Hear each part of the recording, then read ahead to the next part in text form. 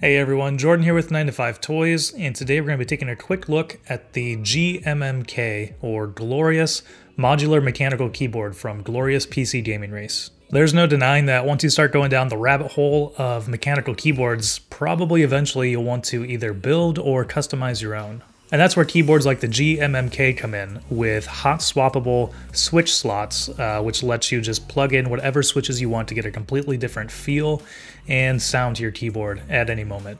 So let's check it out. Thanks for watching 9 to 5 Toys. Be sure to like, subscribe, and enable notifications with the bell icon so you don't miss any upcoming videos. So right off the bat, uh, the one that I have here is the compact version. Uh, there are three different versions of the GMMK from Glorious. This compact one is a 61 key layout, and then they also have a 10 keyless, and then also a full size as well. On the compact, it does forego, you know, some of the navigation buttons for the small compact design, but a lot of those are accessible easily by using the uh, function key, which is down here. And then on this keyboard with the pre-built uh, switches and keycaps, uh, the keycaps do also have a bunch of little labeling, which tells you what a lot of those secondary functions are. So it's easy to find commands like delete and all of your arrow keys, page up, page down, all those different things. Taking a look at the rest of the design here, you can tell it has a very clean, uh, minimal design to it. You can tell this is pretty blacked out, but it does have a shiny, I think it's the aluminum, which the faceplate is made from, uh, has this little border around it, which adds a nice little accent. You can also see that it is wired. Uh, it has a removable USB plug. Um, obviously would have loved to have seen USB-C in this, um, but this keyboard has been around for a while. This design has been around for a while. So we'll plug that back in. You can see the lights light up on there, and then it goes right back to the RGB setting that I had.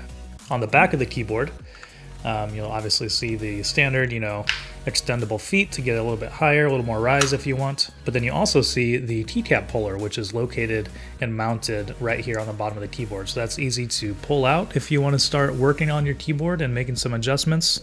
And because you can hot swap the switches as well, it does come with a uh, switch puller. I'm a little bit curious why they didn't, you know, mount that on the bottom as well. If they went as far as to uh, mount the keycap puller on there, I don't don't know why they didn't put the switch puller on there, but it does come in a separate bag and is still easy to access. The rest of the design feels really solid. Uh, it has some substantial weight to it. Um, and overall, I've been really impressed with the build quality and construction on the GMMK. So obviously swapping out switches is one of the highlights on the GMMK, and that's really easy to do with the included keycap puller and switch puller. On this compact layout, the 61 key layout, it takes probably between 20 and 40 minutes to do a complete uh, switch swap.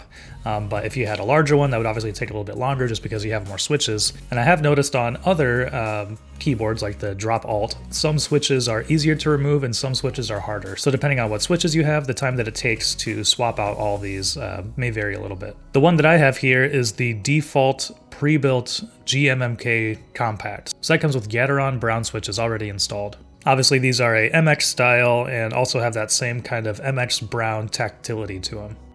And we'll do a quick sound test here so you can hear how that sounds.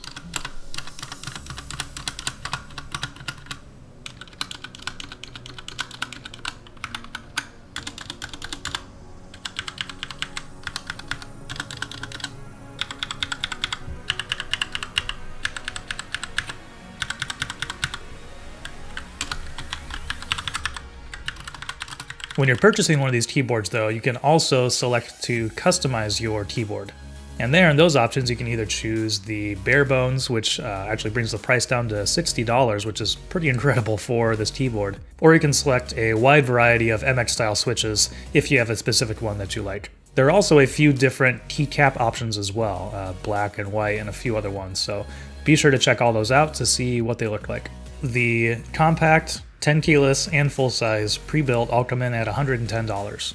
And as you've probably noticed on here, we've talked about a little bit, um, there is, you know, full RGB throughout all the all the switches on here. A lot of those different lighting settings can be adjusted just on the keyboard through those secondary functions. But if you really want to customize the RGB look, then you can also download the GMMK software from Glorious. There are quite a few default configurations that you can choose from, but if you also want to build out your own custom design um, for, you know, if you're playing an FPS game and you want to highlight the keys that you use, uh, that's something you can easily do in there too. And while you're in that app, you can also set up macros. With such a small keyboard like this with the compact, I bet that could come in really handy, but I haven't personally set up any macros for how I use the keyboard.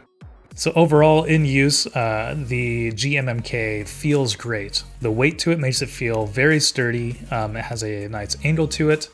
I really enjoy a small, compact keyboard for gaming just because I can, you know, get it out of the way and leave a lot of room for my mouse. And with the ability to hot swap switches, it's easy to customize this thing to however you want it to feel and sound and perform.